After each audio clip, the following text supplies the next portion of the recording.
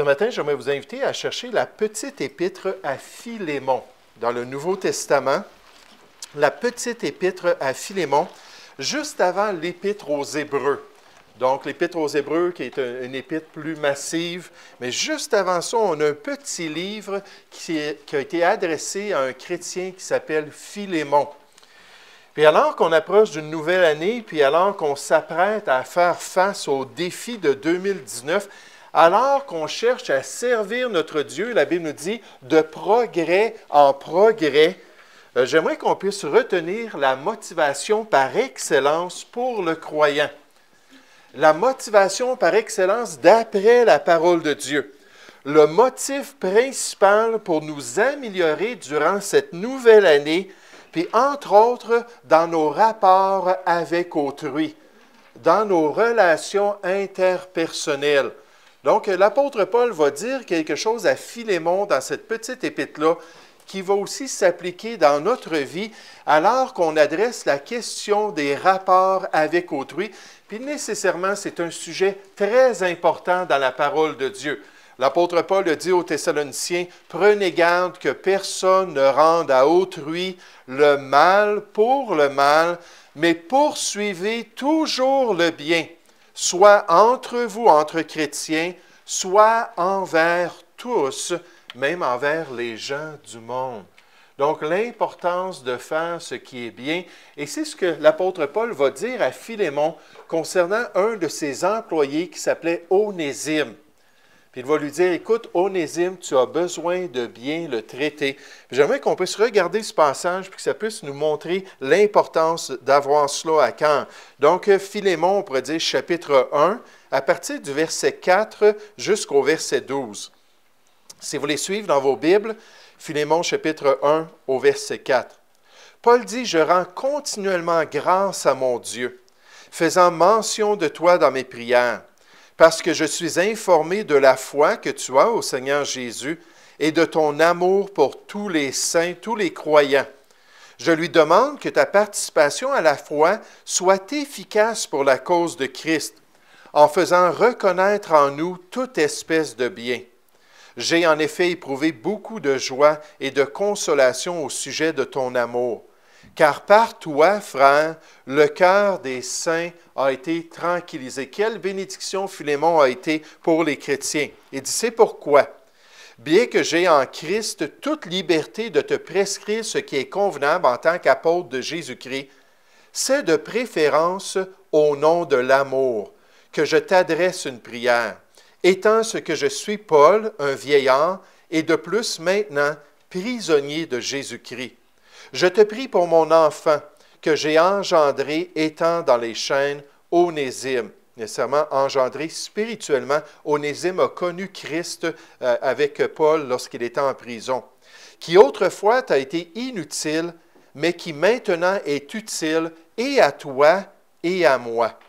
Je te le renvoie, lui, une partie de moi-même. Puis on peut juste imaginer la imaginer Onésime qui arrive, qui, pas Onésime, mais c'est ça, Onésime qui arrive chez Philémon, puis qui cogne à la porte, puis Philémon ouvre la porte, puis voit son ancien employé qui avait quitté son emploi, qui s'était sauvé, il le regarde, puis là, il lui présente cette petite épître-là de la part de l'apôtre Paul pour qu'il puisse voir l'importance de pardonner à Onésime, puis l'importance d'agir correctement envers lui.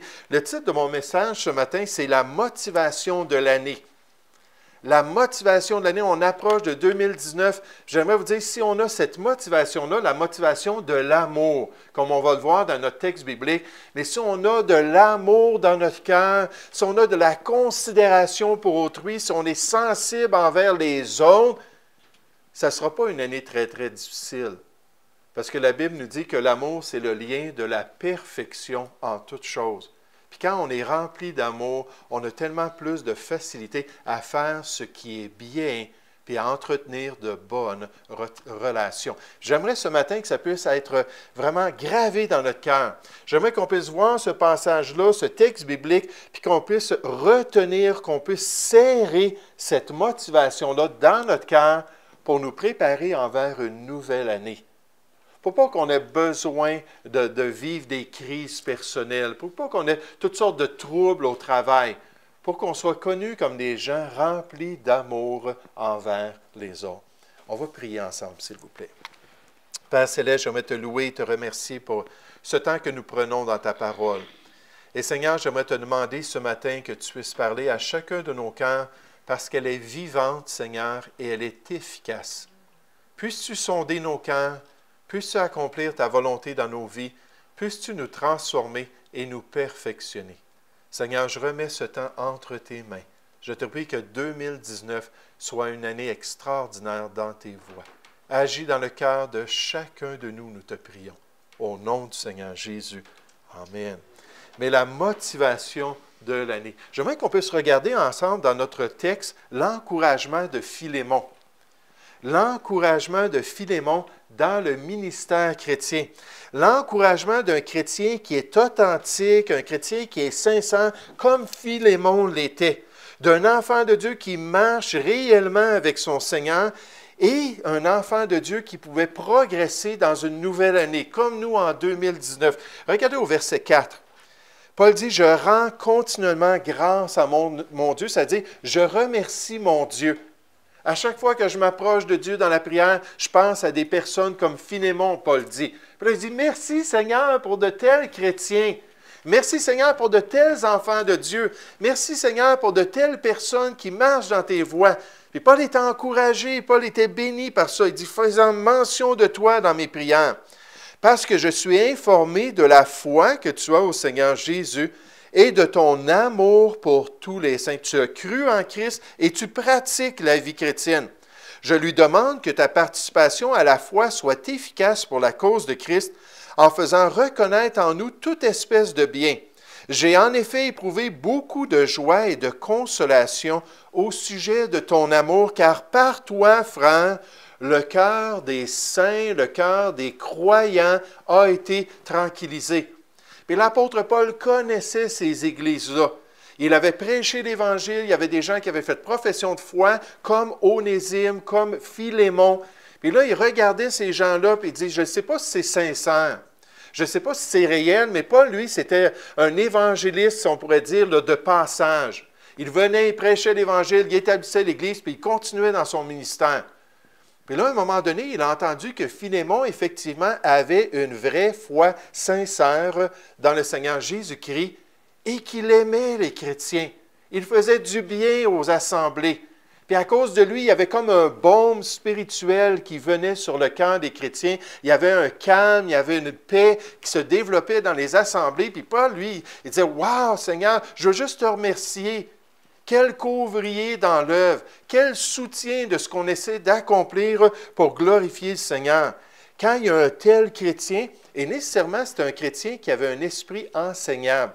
Paul avait travaillé un petit peu de temps avec lui, puis il lui avait montré que c'était important de marcher dans l'amour, de faire ce qui est bien. Puis en fait, il dit à Philémon, il dit, c'est en comptant sur ton obéissance. Donc Paul est en train de lui donner des instructions. Il est en train de lui montrer la bonne voie, comment agir envers Onésime. Puis il dit, c'est en comptant sur ton obéissance que je t'écris, sachant que tu feras même au-delà de ce que je te dis. Wow, ça c'était de l'excellence en tant que serviteur. Vous savez, il y a trois sortes d'ouvriers. Il y a celui qui fait moins que ce que le patron demande. Il y a celui qui va faire ce que le patron demande.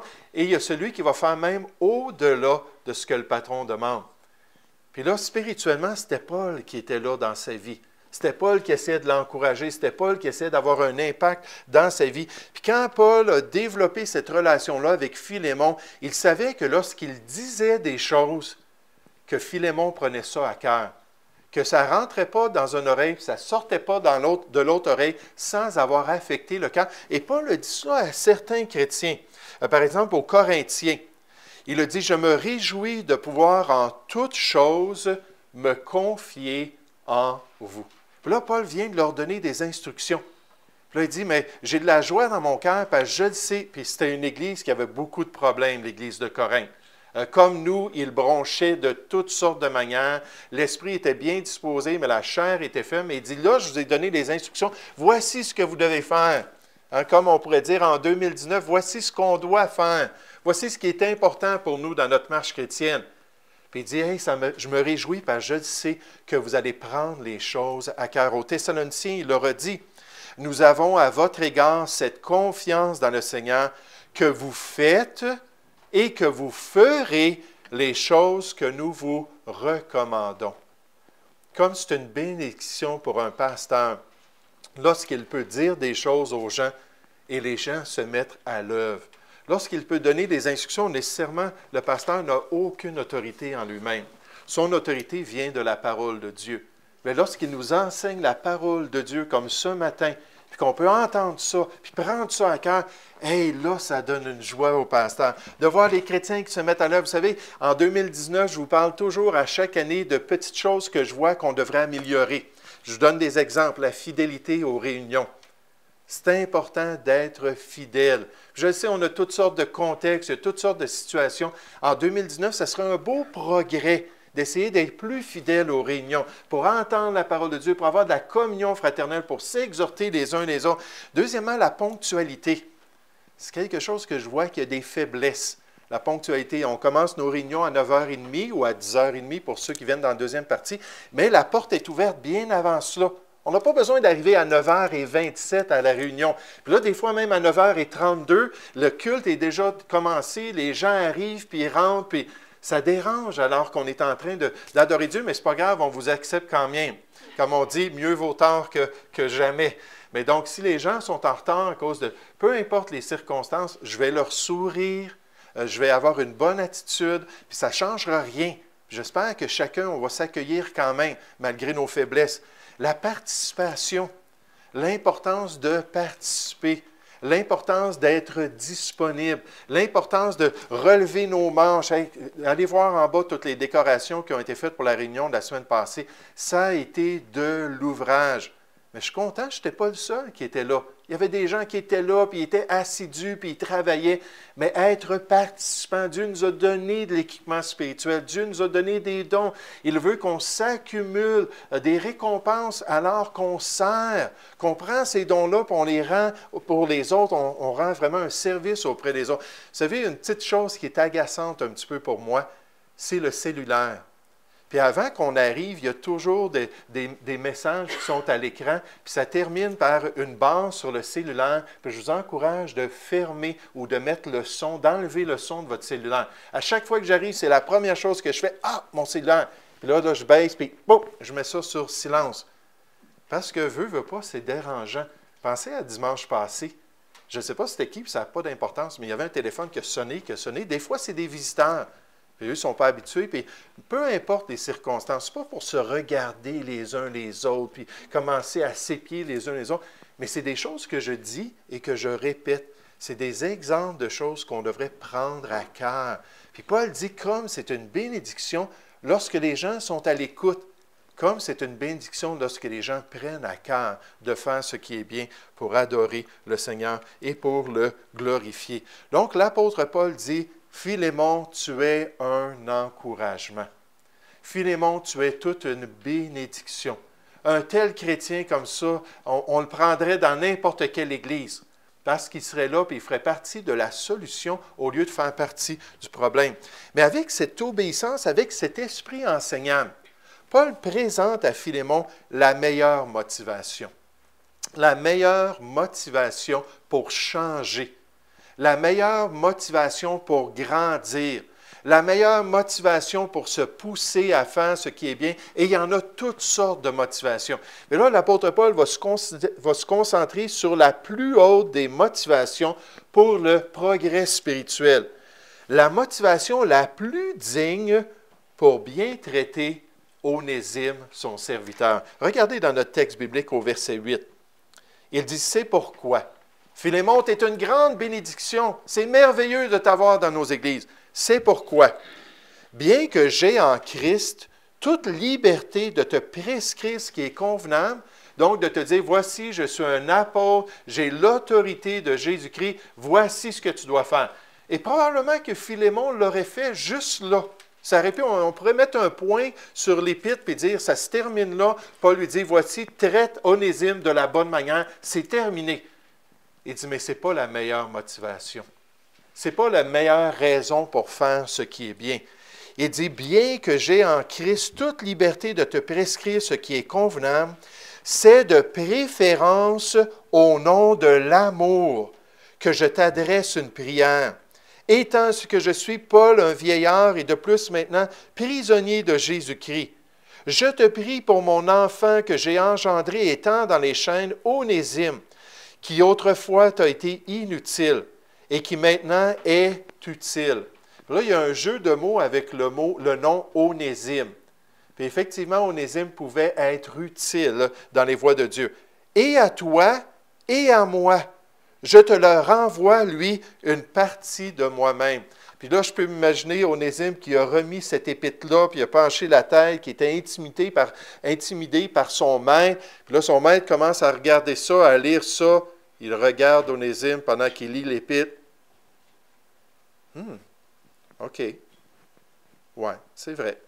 Là, il s'aperçoit de sa responsabilité de bien agir envers ce chrétien, de bien faire ce qui est bien aux yeux de Dieu. Au verset 9, Paul dit, c'est de préférence au nom de la charité, au nom de l'amour que je t'adresse cette prière ou cette requête. Le mot ici veut dire tout simplement une demande. Que je t'adresse ça, je te demande ça, de faire ce qui est bien envers Onésime. Aux chrétiens à Rome, Paul leur a dit, mais si pour un aliment, puis il y avait des, conflits parce qu'il y en avait qui mangeaient certaines nourritures, puis il y en avait qui ne mangeaient pas certaines nourritures.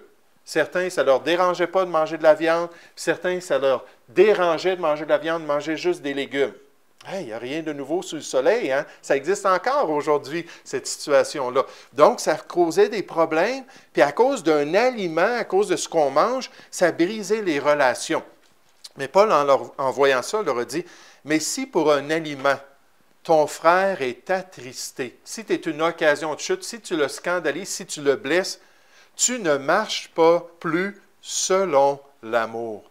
Ne cause pas par ton aliment la perte de celui pour lequel Christ est mort. Donc, il dit, vous avez des conflits entre chrétiens parce que vous ne marchez pas avec le bon esprit, parce que vous ne considérez pas les autres comme étant importants pour Dieu et certainement important pour vous. Puis il dit, si vous marchiez avec l'amour, si vous aviez cette plus grande des motivations, ça se réglerait tout de suite. Vous seriez capable d'avoir des repas communautaires sans vous regarder les uns les autres puis ce que vous êtes en train de manger. Vous capable de rire ensemble au restaurant puis d'avoir de la bonne communion fraternelle pour avoir un bon temps sans qu'il y ait de tension à cause d'un aliment? Qu'est-ce que c'est un aliment? Qu'est-ce que c'est de la nourriture?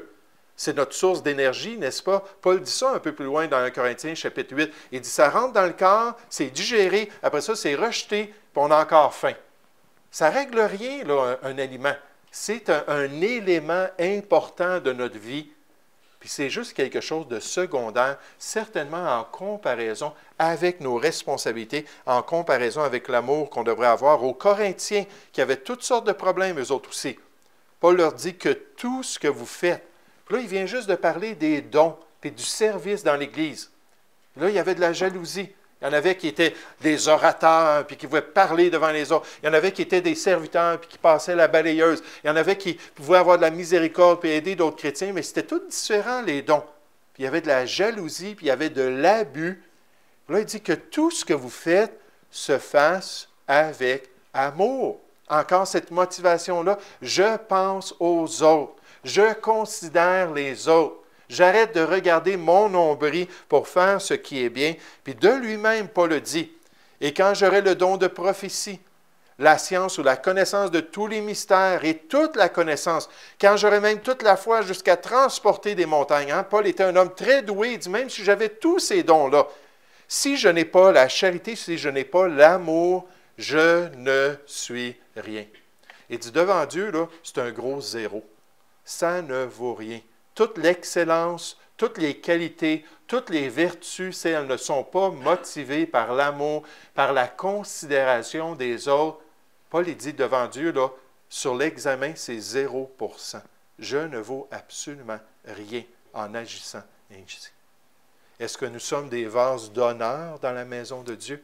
Ou est-ce que nous sommes des vases d'un usage vil? Puis on n'a rien, aucune qualité et rien qui puisse plaire au Seigneur. Oh, toute une épître, l'épître à Philémon. On voit l'encouragement d'un tel chrétien. Est-ce que je suis un encouragement dans l'œuvre de Dieu? Est-ce que je suis un soutien du pasteur? La Bible nous dit d'obéir à vos conducteurs, Hébreu 13, 17. Pas parce qu'ils sont parfaits, parce que s'ils nous prêchent la parole de Dieu convenablement, mais dans le fond, on obéit au Seigneur et non pas à des hommes. Est-ce qu'on est une bénédiction? Deuxièmement, on voit la meilleure des motivations. Marcher dans l'amour, c'est marcher comme Dieu. Dieu est amour, Dieu est considération, Dieu pense aux autres, Dieu veut le bien de l'être humain. Puis il nous dit de marcher avec cela. Puis si on accepte effectivement que la volonté de Dieu est bonne, agréable et parfaite, à ce moment-là, on peut voir le bien du croyant obéissant. Être dans le centre de la volonté de Dieu, c'est la meilleure place pour l'enfant de Dieu.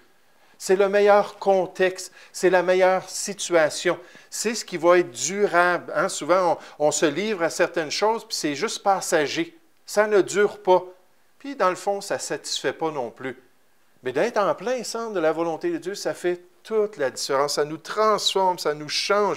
Alors qu'on suit notre Sauveur, alors qu'on se soumet à sa révélation, alors qu'on accepte sa sagesse et alors qu'on accepte son plan pour notre vie. Au verset 10, remarquez comment s'il se réconciliait avec Onésime, Philémon allait être bien mieux dans sa vie. Parce que Onésime était devenu très utile pour les croyants. Lui aussi, c'était une perle dans l'œuvre de Dieu. C'était un trophée du changement que Dieu allait faire dans la vie d'une personne. Quelqu'un qui pouvait être fidèle, quelqu'un qui pouvait être zélé, quelqu'un qui pouvait être engagé. Paul lui dit au verset 10 à Philémon, Je te prie pour mon enfant que j'ai engendré étant dans les chaînes, Onésime, qui a expérimenté la nouvelle vie en Jésus-Christ. Hein, Paul n'a pas dit juste parce qu'il est chrétien de nom, ça veut dire qu'il est une nouvelle créature. Non, il est né spirituellement. Il a expérimenté une nouvelle naissance. La Bible nous dit il faut naître de nouveau. Ce n'est pas une réforme personnelle qui est importante, c'est d'avoir une nouvelle vie, avoir un nouveau cœur, avoir une nouvelle expérience en Jésus-Christ.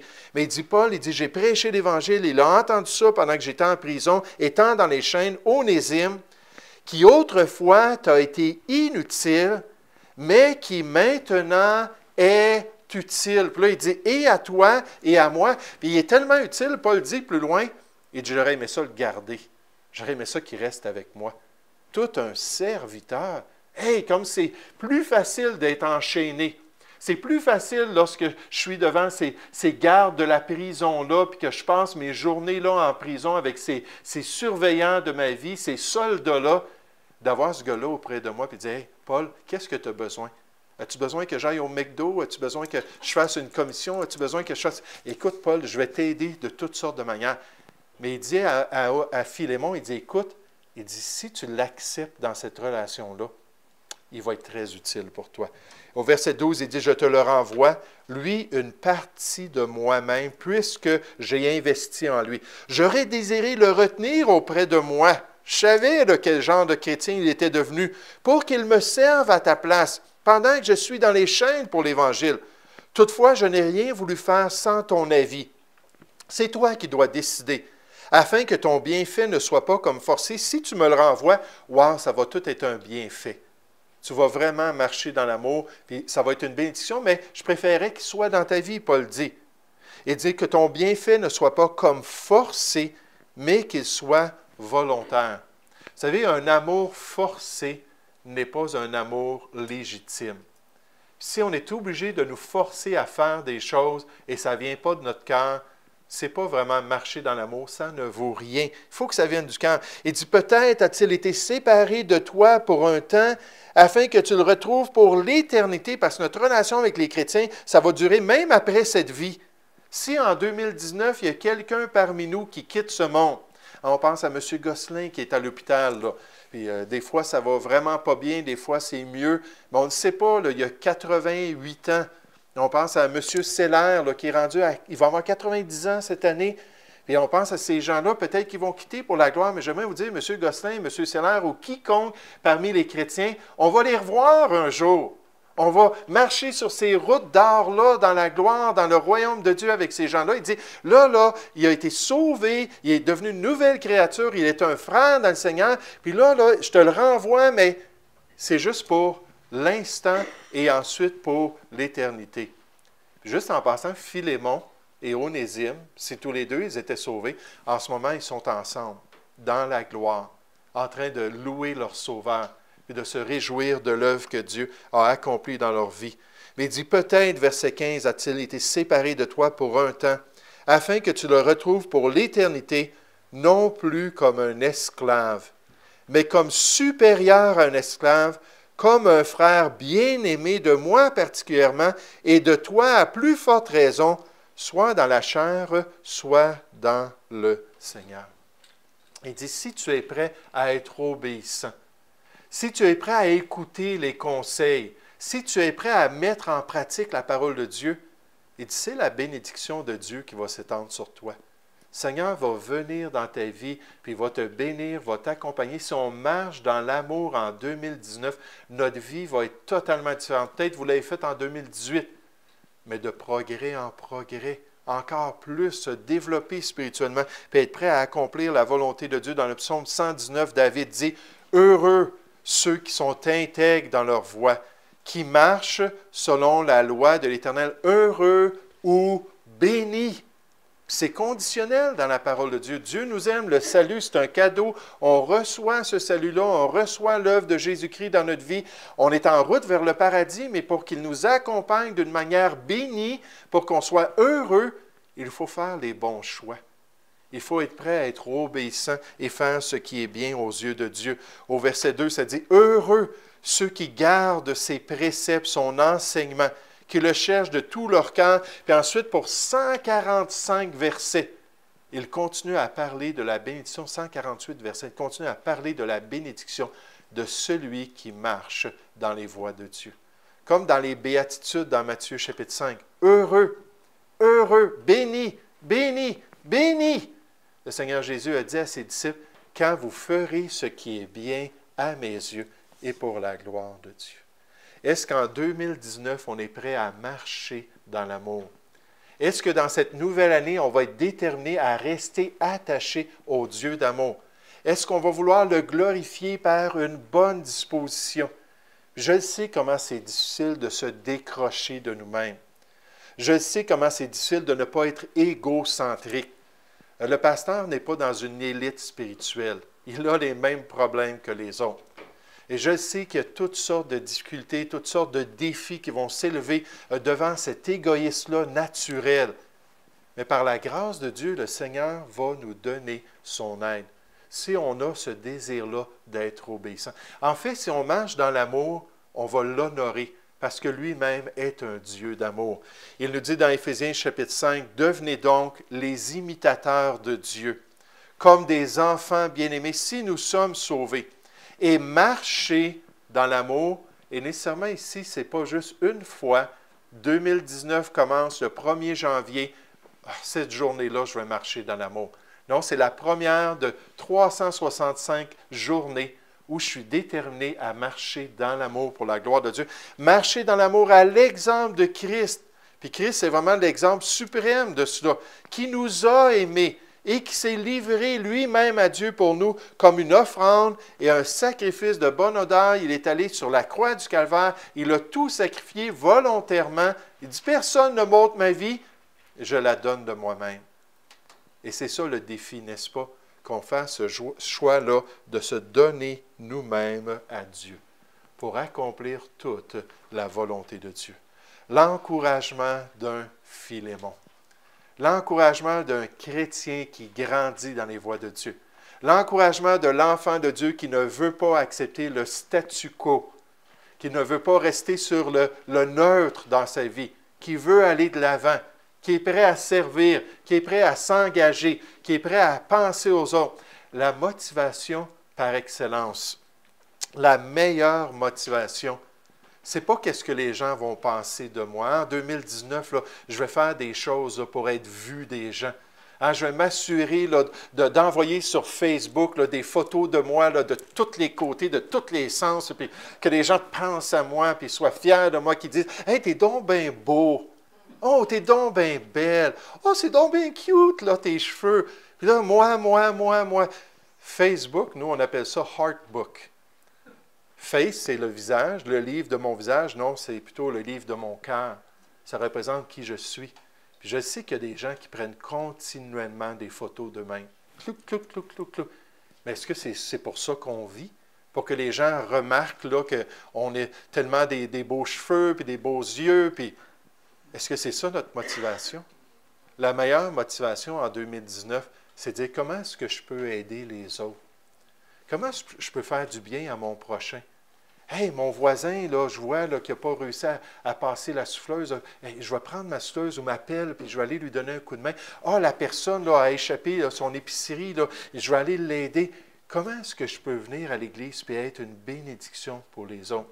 Quand mon professeur d'école du dimanche me dit quelque chose, oui, oui, oui, moi, je veux le faire. Puis lever ma main tout de suite, puis être prêt à participer avec une bonne attitude, puis développer cet esprit-là qui vient de Dieu. La Bible nous dit dans Romains 5 au verset 5 que le potentiel est là pour que Dieu nous remplisse de son amour. Pas juste un peu de son amour, pas juste un peu plus de son amour, plein de son amour. Que tout ce qui nous motive, tout ce qui vient dans notre esprit, ce soit les autres. Que je m'abaisse et que je considère que les autres sont plus importants que moi-même et que je sois prêt à être une bénédiction, que je sois prêt à être un encouragement. Puis dernièrement, on voit que si c'est le cas 2019, ça va être une bonne année. Oui, on va pouvoir terminer l'année en 2019, si le Seigneur le permet nécessairement. Puis dire, Seigneur, ça a été une bonne année, parce que tu m'as accompagné, tu m'as béni et tu m'as permis de te glorifier en faisant ce qui est bien à tes yeux. En ayant cette motivation-là d'ancrer dans mon âme alors que je sers sa parole dans ma vie pour accomplir sa volonté. Nous allons prier ensemble. Père Céleste, on veut te louer, on veut te remercier pour ce temps ce matin. On te prie que tu puisses vraiment nous guider encore pendant les quelques jours de congé que certains vont avoir. Et Seigneur, que tu puisses nous protéger en toutes choses en 2019. Je te prie, Seigneur, qu'à la fin de l'année 2019, on puisse faire une rétrospective de notre année et dire, ça a été une bonne année on a progressé, on est devenu meilleur, et Seigneur, tu nous as utilisés. Père, s'il y a quelqu'un ici qui ne te connaît pas encore comme son sauveur, qui n'a pas compris que Jésus a tout accompli, puis que le ciel, le paradis, c'est un cadeau, un cadeau qu'on peut recevoir même aujourd'hui, pour bien terminer cette année, dire, oui Jésus, viens dans mon cœur, prends tous mes péchés, mes mauvaises actions, tout ce que j'ai fait de mal dans ma vie, lave-moi et deviens mon sauveur pour pouvoir débuter cette année-là de la bonne manière. Oh, merci pour ton amour, ta patience et ta grâce. Je te prie au nom du Seigneur Jésus. Amen.